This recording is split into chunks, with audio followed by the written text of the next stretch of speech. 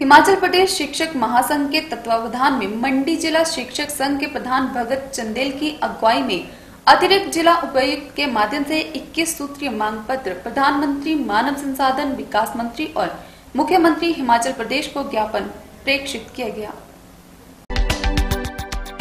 हिमाचल प्रदेश शिक्षक महासंघ के तत्वावधान में मंडी जिला शिक्षक संघ के प्रधान भगत चंदेल की अगुवाई में अतिरिक्त जिला उपायुक्त के माध्यम से 21 सूत्रीय मांग पत्र प्रधानमंत्री, मानव संसाधन विकास मंत्री और मुख्यमंत्री हिमाचल प्रदेश को ज्ञापन प्रेषित किया गया। जिला शिक्षक संघ के प्रधान भगत चंदेल ने कहा कि शिक्षक संघ ने अपनी मांगों को लेकर अतिरिक्त उपायुक्त के माध्यम से प्रधानमंत्री, मुख्यमंत्री और मानव संसाधन विकास मंत्री को ज्ञापन भेजा है। उन्होंने कहा कि सरकार से हमारी मांग है कि नई पेंशन योजना को वापस लिया जाए और पुनः पुरानी पेंशन योजना लागू की जाए ताकि सेवानिवृत्ति उपरांत शिक्षक आर्थिक रूप से स्वतंत्र रह सके। शिक्षक संघ के प्रधान भगत चंदेल ने कहा कि केंद्रीय शिक्षकों के समान साथ में वेतन आयोग की संस्तुति के आधार पर सभी राज्यों में शिक्षकों को वेतनमान एवं सभी तरह के नए भत्ते समान रूप से दिए जाएँ और छठे तथा सातवें वेतनमान में उत्पन्न विसंगतियों को तत्काल दूर किया जाए। उन्होंने कहा कि समग्र शिक्षा अभियान में राज्य के एवं सहायता प्राप्त विद्यालयों में भेदभाव न करके उनका समान सुविधा दी जाए। उन्होंने कहा कि मांगों को लेकर पूरे प्रदेश के जिला मुख्यालय में प्रधानमंत्री, मुख्यमंत्री और मानव संसाधन विकास मंत्री को ज्ञापन भेजे जा रहे हैं।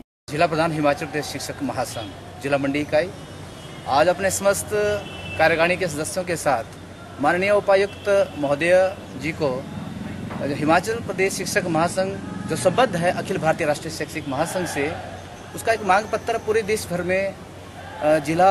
अधीश के माध्यम से दिया जा रहा है। उसे देने हेतु आज यहाँ उपस्थित थे। और हमारी जिला अधीश जी से ये बात हुई कि आप इसे माननीय प्रधानमंत्री जी को, माननीय संसाधन विकास मंत्री जी और हिमाचल प्रदेश के मुख्यमंत्री जी को ये प्रेषित करें ताकि पूरे देश भर में जो एक सामान्य सी समस्याएँ हैं, जिनसे सभी वर्गों के अध्यापक परेशान हैं, उन्हें वो पूरा कर सकें। जिसमें मुख्य तौर पर हमारी जो नई पेंशन योजना है, इसे हटाकर पुरानी पेंशन योजना बहाल की जाए, माध्यमिक शिक्षा आयोग गठित किया जाए, ताकि पूरे देश भर में शिक्षकों की जो नियुक्ति प्रक्रिया है या पदोन्नति प्रक्रिया है, वो समान रूप से हो। छठे वेतन आयोग की जो विसंगतियाँ रही हैं,